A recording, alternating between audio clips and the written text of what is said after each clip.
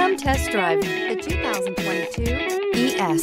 Lexus has sold the ES family of vehicles since 1989 as its mid-sized luxury sedan line. The ES series has become the best-selling sedan for Lexus and known for its emphasis on interior amenities. This vehicle has less than 100 miles. Here are some of this vehicle's great options.